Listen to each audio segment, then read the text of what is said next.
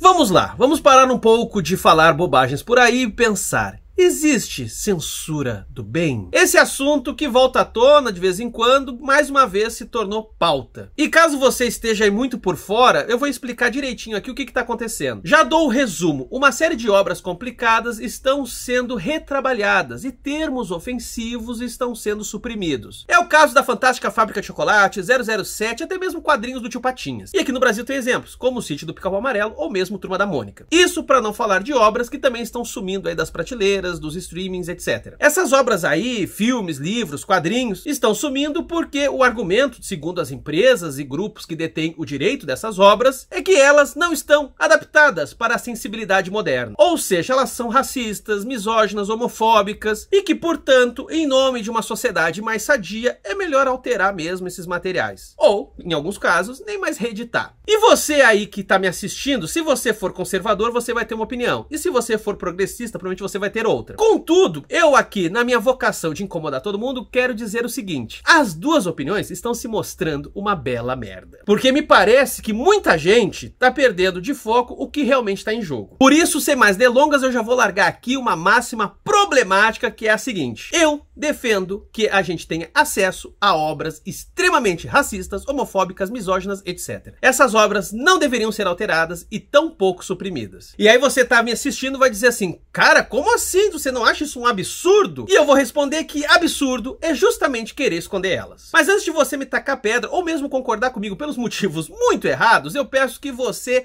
escute o que eu tenho a dizer até o final do vídeo. Porque eu quero trazer para vocês aqui uma série de exemplos e sustentar a minha argumentação. Por isso, depois não fiquem me julgando por coisas que eu não falei também. Mania de ver o vídeo pelos primeiros três minutos e falar assim, ah, aquele cara sempre fala isso, sempre... Olha até o fim, tá? Portanto, segura a sua onda aí no seu sofá, ônibus, quarto de motel, sei lá onde você está vendo isso. E vamos pensar junto. Mas antes, eu peço que você curta o vídeo se estiver curtindo, se inscreva caso seja novo por aqui e compartilhe. Esse canal só existe para falar coisas absurdas absurdas graças aos seus apoiadores. São eles que financiam esta coisa tão horrenda que é o Quadrinhos na Sarjeta. E tem recompensas bem legais, como lives aqui comigo, grupo de estudo, grupo no Telegram, sorteio de gibi. Eu vou deixar o link do nosso apoio na descrição do vídeo no primeiro comentário fixado. E cogite ser membro aqui pelo YouTube por R$ 6,90 ao mês e ter acesso a conteúdos exclusivos. Mas vamos lá, vamos lá, sem enrolar. O assunto voltou à tona porque agora, nos últimos meses, aconteceu uma série de ações em sequência. Para ser justo, esse negócio de grandes corporações, grandes empresas alterarem ou suprimirem certos materiais, pois bem, isso não é novidade. Isso já está acontecendo um tempo e tem um vídeo meu aqui mais antigo no canal que eu falo disso. Porém, de uns tempos para cá, está ficando cada vez mais frequente e várias empresas estão adotando essa política. Nas últimas semanas, acabaram se acumulando três notícias bastante significativas. A primeira que veio à tona foram as mudanças feitas em A Fantástica Fábrica de Chocolates de Roald Dahl. Caso vocês não saibam, A Fantástica Fábrica de Chocolates é um clássico da literatura infantil e ainda muito popular no Reino Unido. E que reflete muito uma série de pensamentos racistas que já eram problemáticos na sua época, no caso 1964, mas hoje ainda são mais intoleráveis. O argumento dos detentores dos direitos que estão republicando agora a Fantástica Fábrica de Chocolates é justamente esse, de que a obra é ofensiva, de que ela não está sintonizada com os dias de hoje e que, portanto, eles querem que essas obras continuem acessíveis, que os jovens britânicos e os jovens do mundo todo continuem a lendo, porém eles acharam legal tirar uma palavrinha aqui, mudar outra colar. E tá gerando muito debate porque algumas dessas mudanças são bastante controversas, como por exemplo, tirar a cor preta de um determinado adereço, ou um personagem que é um glutão não dizer mais que ele é gordo e sim imenso. Enfim, coisas desse tipo tá? Só pra vocês terem uma ideia. O mesmo também foi anunciado que vai ser feito com 007 de Ian Fleming. Pela notícia que está sendo circulada, agora em abril vão ser reeditados as aventuras do 007. E as obras de Ian Fleming vão também passar por alterações. Já fiquem preparados, por em breve vai ser uma série de artigos, até mesmo vídeos por aí, tentando mostrar as diferenças e problematizando elas. O argumento por aqueles que detêm os direitos 007 são os mesmos. Há momentos racistas, há momentos misóginos, preconceituosos, etc. E a gente vai mexer aqui e acolá. Com o intuito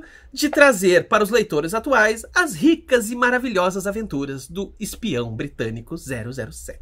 Na sequência, também saiu outra notícia, que a Disney resolveu que não vai mais reeditar histórias do Tio Patinhas feitas pelo Dom Rosa. Eu procurei saber se essa notícia a Disney a confirma, mas parece que só o artista mesmo que é a fonte dessa informação. Seja como for, o que está sendo dito é o seguinte, algumas histórias do Tio Patinhas que Dom Rosa fez, e Dom Rosa, caso você não saiba, é um dos grandes nomes que passaram pelos quadrinhos do Tio Patinhas. Pois bem, elas não vão ser mais republicadas. Especula-se que o problema é o personagem Corongo, ou Zumba, que é um personagem africano bastante estereotipado, mas aí vem as complexidades que eu sempre aponto aqui no canal. Ele também serve para uma crítica ao imperialismo e ao colonialismo. Ele é um personagem ambivalente, ele reforça estereótipos ao mesmo tempo que os critica. Eu já fiz vídeo aqui no canal sobre esses tipos de personagem, fica aqui a sugestão do vídeo mais recente sobre a She-Hulk. Mas enfim, o lance é que, suprimindo essas histórias do Dom Rosa, isso tem um efeito cascata imenso. Porque essas histórias faziam parte, inclusive, de um arco de histórias que é a saga do Tio Patinhas, que conta toda a história do personagem. E agora, essa história, inclusive, vai ficar capenga. Será que eles vão sumir,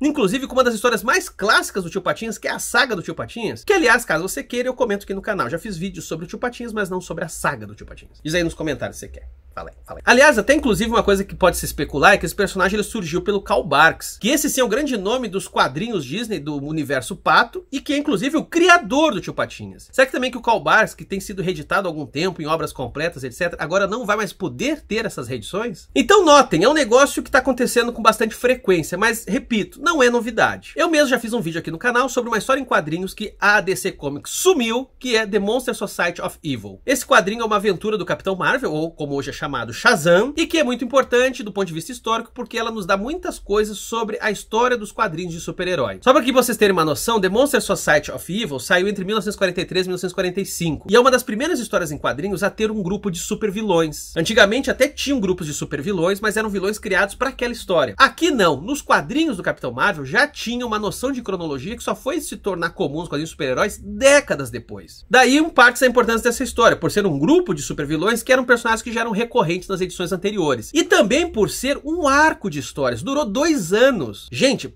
praticamente não tinha disso em quadrinhos de super-herói na época. Cada historinha era o episódio do mês e era isso. Contudo, os quadrinhos do Capitão Marvel, ou Shazam, foram bastante inovadores e acabaram dando as bases para tudo aquilo que o quadrinho super-herói virou depois. Hoje a gente está acostumado a falar a saga de Thanos, a saga da Guerra Infinita, a saga da queda do morcego, etc. Contudo, vou dizer mais uma vez, antes não tinha disso. Da importância dessa publicação do Capitão Marvel dos anos 40. Porém, ela também é racista. Não só por personagens negros que são desenhados no estilo blackface, portanto é aquela coisa um tanto animalizadora da pessoa negra, como também, como foi feito no contexto de guerra, asiáticos também não estão muito bem representados ali não. Inclusive por causa dessas questões, eu desconfio que The Spirit de Will Eisner, que é um monumento dos quadrinhos, um material também de extrema importância, não está sendo publicado porque também tem esses mesmos problemas. Muito suspeito que a gente não tem reedições desse quadrinho nos dias de hoje por causa do personagem Ebony White, que como vocês podem ver aqui nas imagens, é um gigantesco estereótipo racial. Outro exemplo de obra que simplesmente sumiu é a Canção de Sul da Disney de 1946. Essa animação você não encontra mais em nenhum streaming. E qual é o motivo?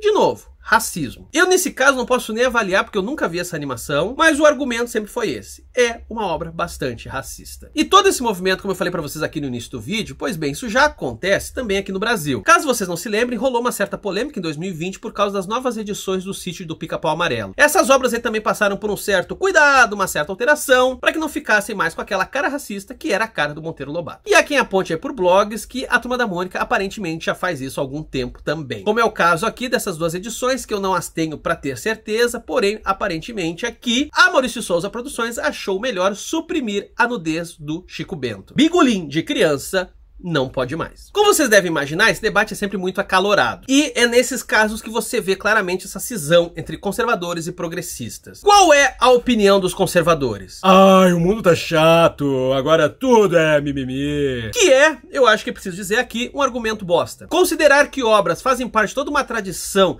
que fomenta e legitima preconceitos não é mimimi. É importante, sim, a gente olhar para essas obras e reconhecer nelas os seus problemas. Porém, a opinião de progressistas também anda bem, bem chulé. O que os progressistas estão dizendo? Ah, eu acho certo, porque isso produz uma sociedade mais inclusiva. Namastê, gratiluz. Claro que eu tô aqui pintando estereótipos e muitas pessoas têm outras opiniões que não se encaixam nesse tipo de palhaçada que eu tô fazendo aqui. Mas são tendências do debate. Apesar de eu estar aqui zoando, vocês têm que reconhecer que são tendências bem presentes, basta você entrar no Twitter e ver esse tipo de debate. E o ponto que eu quero ressaltar aqui é que ambos os argumentos são muito, muito ruins. Eles estão perdendo de vista o que realmente está em jogo. E aí você me pergunta, tá, mas afinal, o que que tá rolando? E eu vou responder para vocês na lata. Esses procedimentos, galera, não tem nada de busca por inclusão. É tão somente queima de arquivo. São megacorporações, associações cheias da grana, herdeiros que estão querendo vender de novo as mesmas tranqueiras de sempre, só que de um jeito agora Namastê Gratiluz. E isso, galera, é uma coisa muito, mais muito malandrinha. Porque de um lado, aquele determinado grupo se vende como pró-minorias, que gosta de pessoas negras, mulheres, LGBT. Mandem aí o seu Black Money, mandem aí o seu Pink Money, a gente gosta muito de vocês. E ao mesmo tempo, o que que acontece é que esses grupos conseguem apagar o seu próprio passado racista. Cada vez menos nós temos acesso àquilo que fez parte da constituição de um grupo poderoso. E veja, eu nem tô falando que tudo aquilo que essas empresas estão sumindo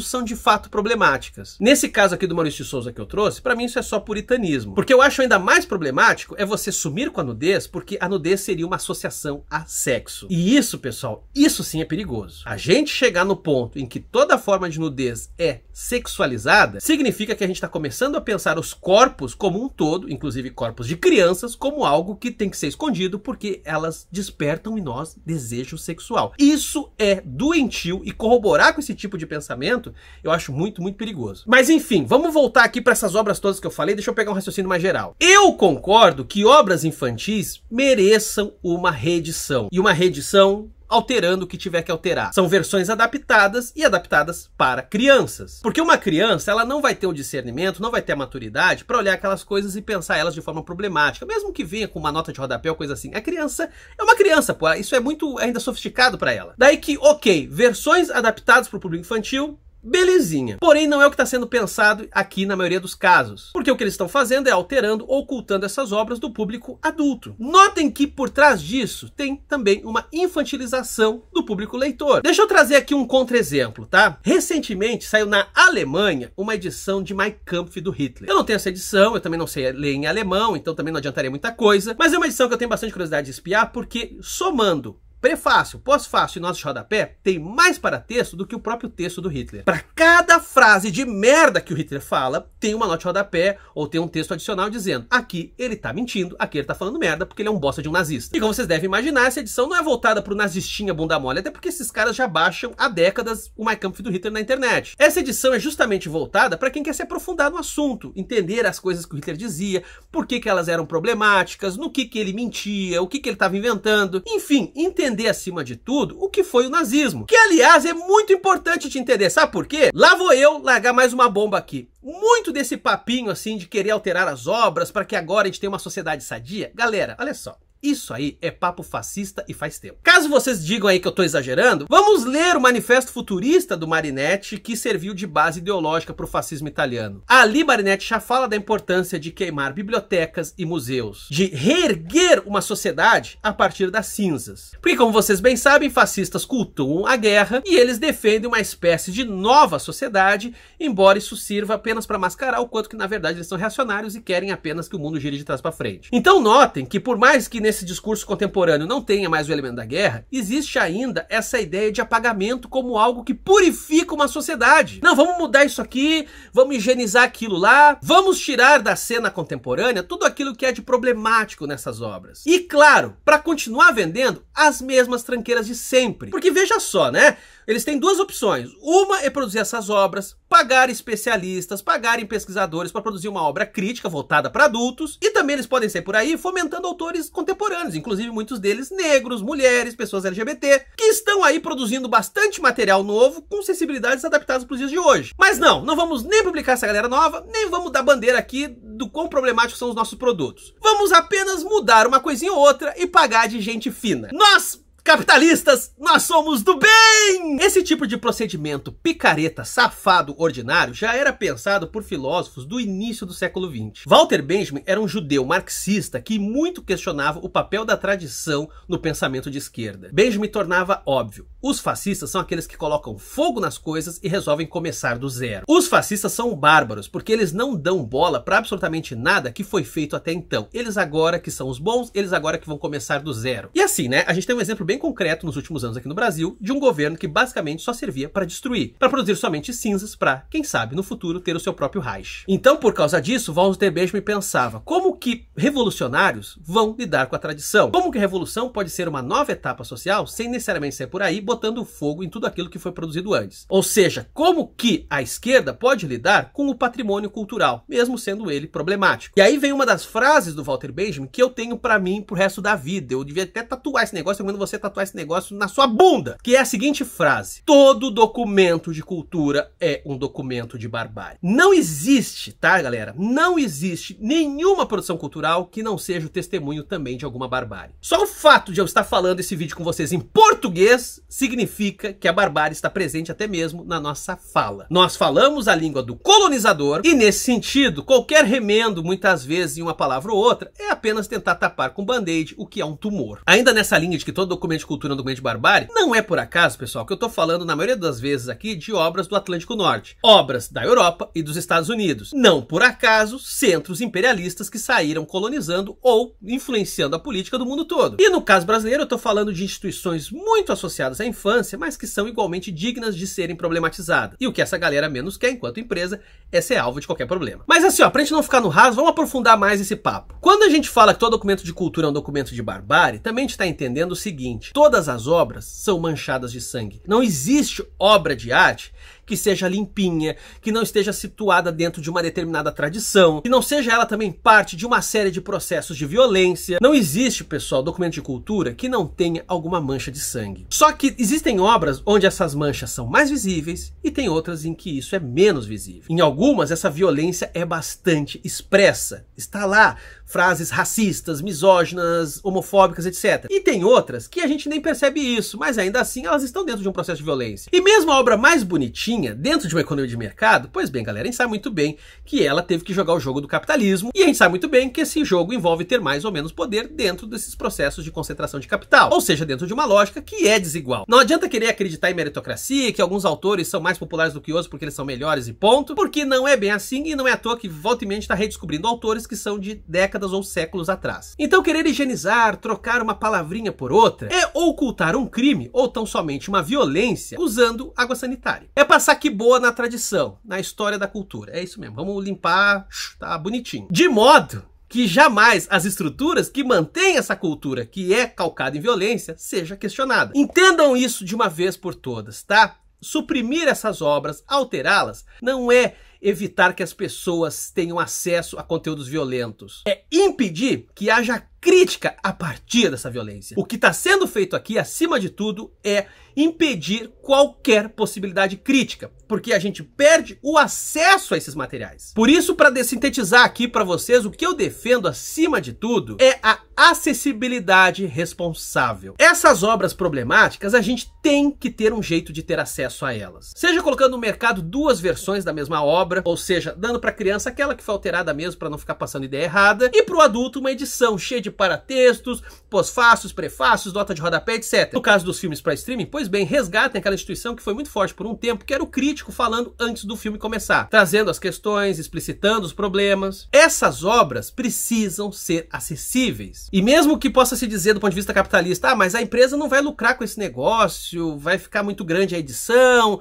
ou no caso dos filmes, o pessoal vai achar chato ver aquilo ali no começo, vai acabar pulando. Pois bem, então nesse caso, galera, que essas edições tenham tiragens mínimas, que a gente tenha edições exclusivas só desses materiais, aí pode vir mídia física, etc. E que seja voltado para bibliotecas, que seja voltado para pesquisadores. Esse é um negócio que até eu me sinto muito confortável e quem é pesquisador de quadrinhos também. Porque nós que pesquisamos quadrinhos estamos muito acostumados a ler materiais infantis que são extremamente problemáticos, mas que ainda assim são bastante interessantes porque são um documento cultural de uma determinada época, diz muito sobre a infância de um determinado período e que por mais que hoje não dialogue com a infância atual, ainda assim é digno de ser analisado por um olhar adulto. E isso, galera, não vale só para quadrinhos, vale para tudo. Eu tenho para mim um exemplo muito prático do quanto que esse procedimento todo que eu tô botando aqui para vocês é só um fascismo soft. O quanto que isso tudo não é para combater o racismo ou outros preconceitos e simplesmente para ocultar qualquer prova de racismo. Você sabe do que eu tô falando? O filme O Nascimento de uma Nação de Griffith.